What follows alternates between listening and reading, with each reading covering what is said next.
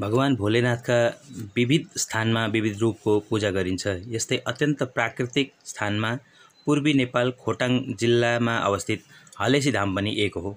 यस तीर्थलाई त्रिधार्मिक तीर्थका रूपमा मानिन्छ।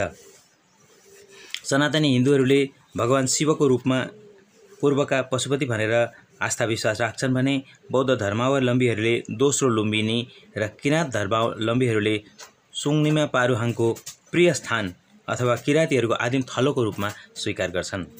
यहाँ जानका लागि पूर्व पश्चिम पश्चिम राजमार्गबाट कटारी बजार पुगेपछि त्यहाँ एउटा सुन्दर वातावरण मैत्री प्रतिमा देख्न पाइन्छ।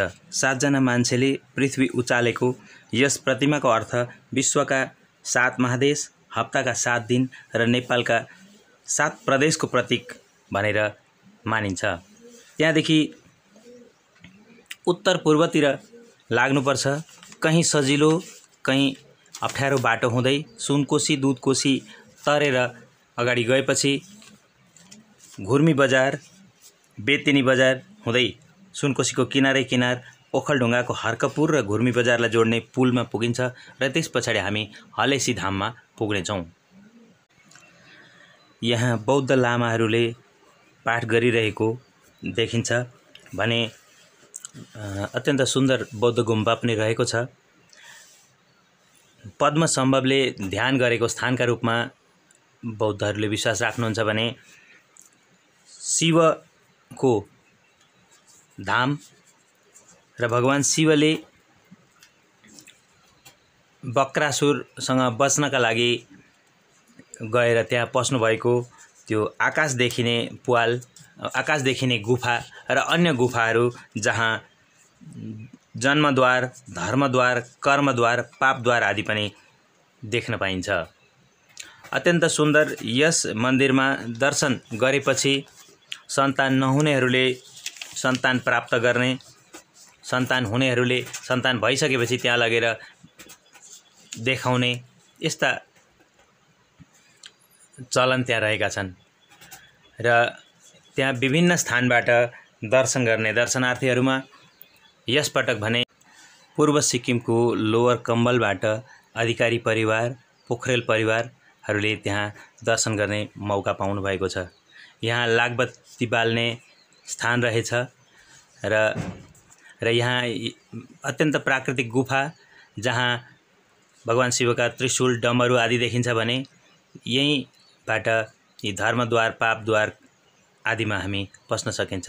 बाहिरपट्टि पनि अत्यन्त मनमोहक प्राकृतिक दृश्य देख्न पाइन्छ।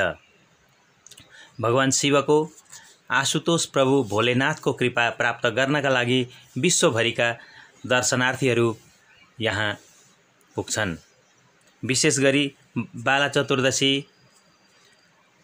शिवरात्रि जस्ता पर्वहरूमा यहाँ ठुलो भिड लाग्ने गर्दछ।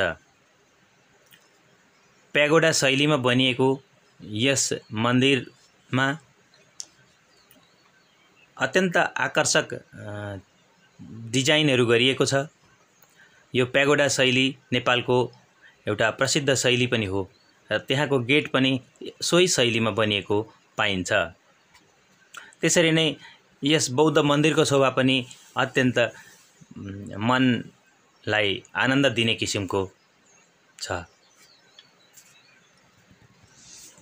यहाँ ठुल्ठुला घन्टीहरू त्यसरी नै छत्र चामर आदि जो आफ्ना मनोकामना पुरा भइसकेपछि विभिन्न स्थानका भक्तहरूले चढाएका वस्तुहरूलाई पनि हलेसी तुवाचुङ नगरपालिकाले आफ्नो कोष अन्तर्गत यसलाई व्यवस्थित गरेको छ। सिसी क्यामेराहरू जडान गरेर विभिन्न स्थानबाट यसलाई देख्न सकिने सुरक्षित गर्न सकिने व्यवस्था मिलाएको छ।